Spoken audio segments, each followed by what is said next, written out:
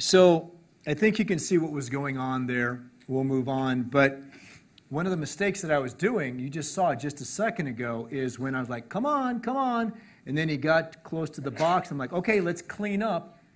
You know, might as well have been talking, you know, French. He didn't know what clean up meant. And I kept saying, come on, clean up, clean up. Like if I say it again, he might get it.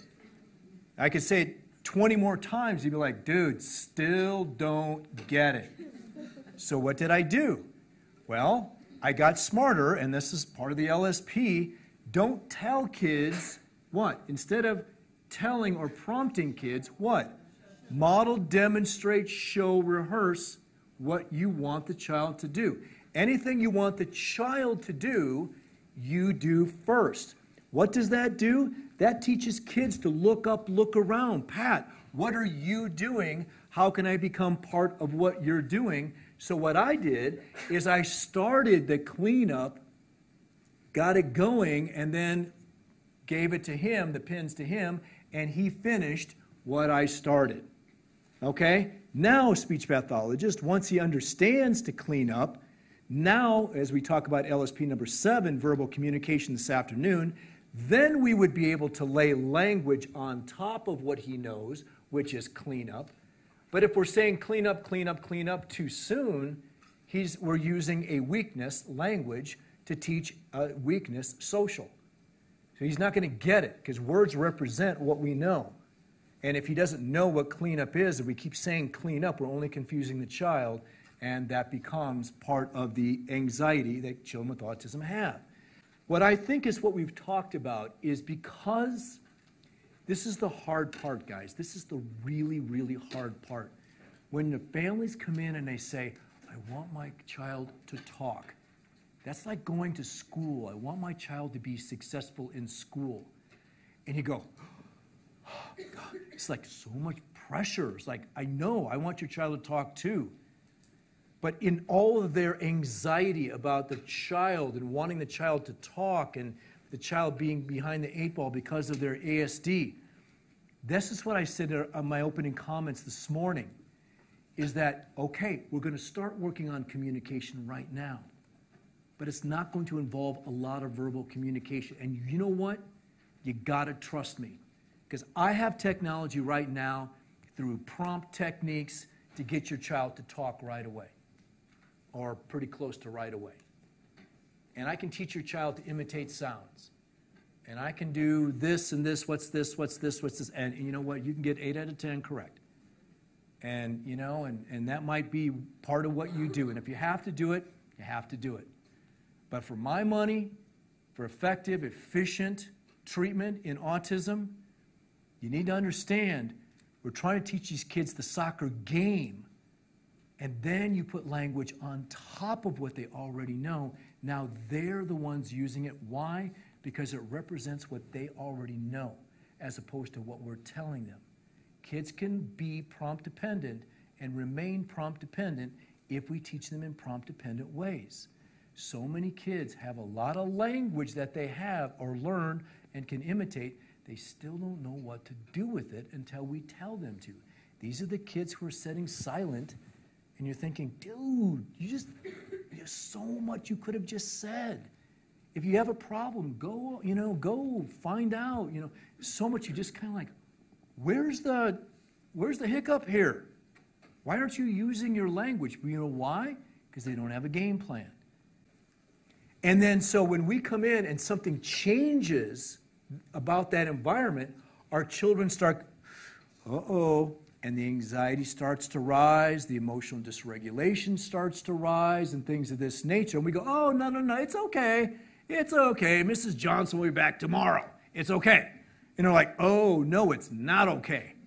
It's not okay. You tell me it's okay because you want it to be okay, so we don't, like, you know, tear the room down, but it's it's, and the kid says, it's not okay. And the child gets upset because of this rule, and they look at you because you are what? You're a rule breaker. You just broke the rule. Don't you understand, Pat, that this is how we do what we do? Keep it the same. So kids get up and they do all kinds of things to get you back to the rules, get back to the way we did it. And then everything's going to be fine. You can interact with me, child, friend, as long as you play by the rules. Well, what young peer model or potential friend is going to play by the rules? I don't know about you, but pretty close to zero. Social exchanges. I mean, guys, think about this. When, when you look at conversations or when you have conversations with your friends, 90%, I'm just making that, that percentage up, but a whole bunch of what you talk about are social exchange. I don't need anything from you. I'm not really asking you anything or asking you for anything that's like an object or anything. But most of what I talk to you about is what I'm thinking. This is what I'm thinking, and what are you thinking, and what am I thinking? So it's a social exchange. What glues us together is the social glue. I'm not glued together with you because I need something from you like an object. But if we teach kids in object oriented ways and in scripted ways, I mean, it, it's over, conversation's over before it even begins. So when we look at social exchange, many of our kids aren't good at social exchange, sitting down having a cup of coffee. Hi, how are you? How's your day? What's going on? Why? Because our kids aren't being taught to be what? Social. Our kids are being taught in a way to, if you need something, get something by asking somebody something. That's the reason for communication. We, are going to talk a lot about why kids aren't social in their conversation because that's not the way they're being, being taught. If you're developing a program um, or you're developing an IEP, a plan for your child in different uh, settings. To me, the first thing that you always have to consider is ask yourself the question how do you know when a child has learned something? How are you convinced professionally and ethically that a child has actually learned something? It's a question that I wrestled with.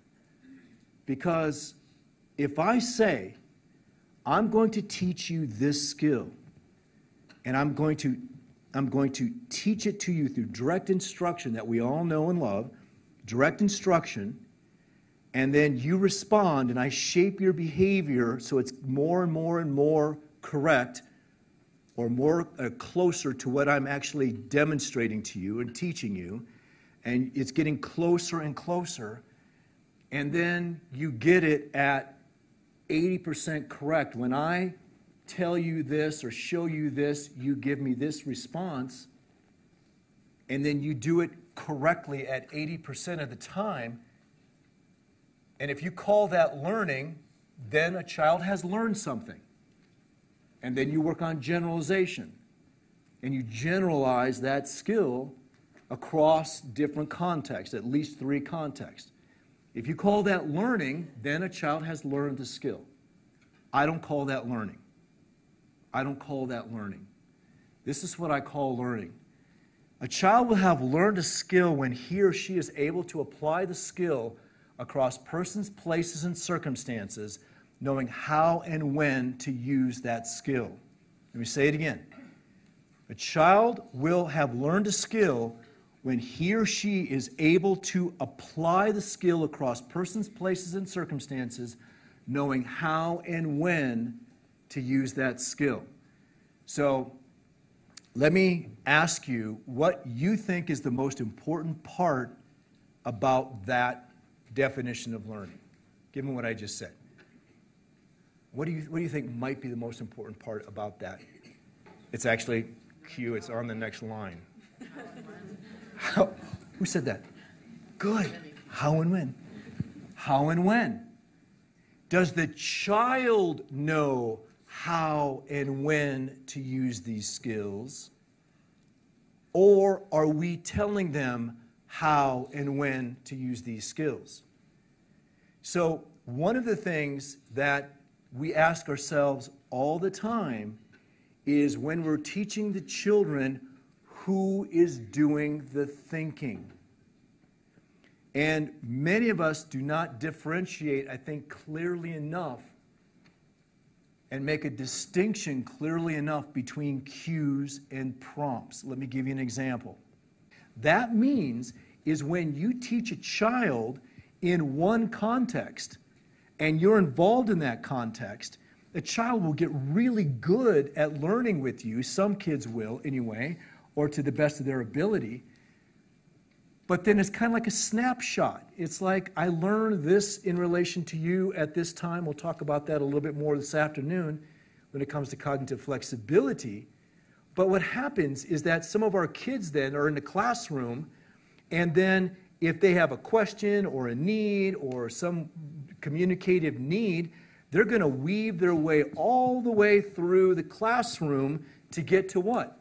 Get to that one teacher to get to that one paraprofessional.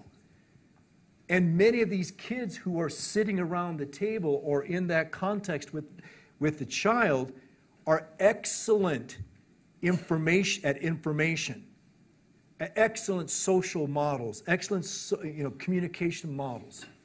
But if that child is only learning in relation to one person, which many kids are, situation specific learners, now we're boxing ourselves into a corner.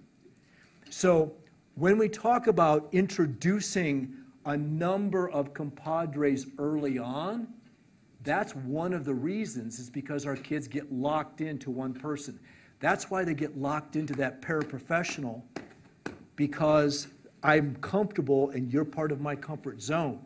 So we have to understand that Children need to learn not in relation to big people, but they have to learn in relation to small people. Okay?